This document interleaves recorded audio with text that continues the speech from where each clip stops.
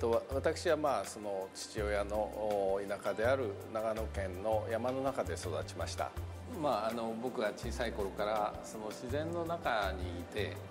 えー、周りのものはあの小さい頃はもう全てもう自然しかなかったっていうことがまずありますね、えー、そして、えー、私の家からそのまあ、あの諏訪湖という湖に面していたんですね私の家は、えー、私の家の庭からもう湖に出られるぐらいの、え、位置にありまして、えー、毎日その湖を、えー、見ながら暮らしていました、えー、ですからあ、まあ、その後建築をやるようになってからあ、まあ、ほとんど無意識だったんですけれどもえー、その山に囲まれたエリアの中でその湖を見ながら暮らしていたということが、まあ、何らかの影響を及ぼしているかもしれません。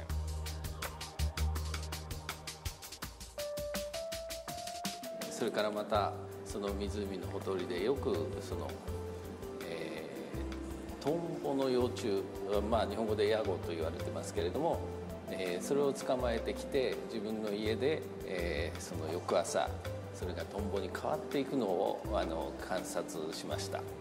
その負荷のプロセスというのは、まあ、私にとってはもう本当にその今建築を作ることにおいて、えー、何かこう自分の非常に大きなあ原体験になっています。水ということは、まあ、その後ずっと私の建築を考える、えー、テーマになっています、えー、まあ、その湖を見て、えー、そこに石を投げて、えどのようにそこからその石がから波紋が広がっていくかっていうことを考えていたりその魅力、えまあ生きているものは全部こう水の中からあ登場して、えー、水の運動がそのままこう形になっていくわけですけれども、まあ、あの生まれたばかりの自分の子供が本当に何かふにゃふにゃした。えー、そんな存在があ、まあえー、成人して、えー、結婚する時にあまあいろんなあ出来事を経ながらよくあのこの子が育ってくれたなと思う親の感動と同じような、まあ、そんな思いをあの出来上がった建築に持つのではないでしょうか。あのそうは言ってももうこういう建築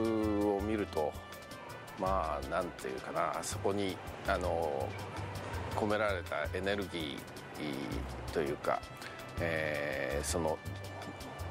情念といいますか、まあ、そういったものにこう感動してしまって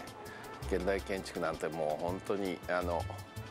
浅はかなものだなともう 自分は一体何をやってんだろうというような気持ちになってしまいますね。えー、まあ、私の中で近代という言葉はコルビジェの言葉にあの象徴されるんですね。えー、というのはあまあ一つはあの、まあ、建築は住むための機械であるという言葉ですね、えー、それからまた、えーえー、建築はあその純粋幾何学で、えー、作られている時に一番美しいと、えー、立方体や球や、えー、円筒が最も美しい形でそれらがその光強い光に照らし出された時に、えー、最も輝く。かしく見えるということをコルビジェは言ってます。なぜかというとその機械っていう、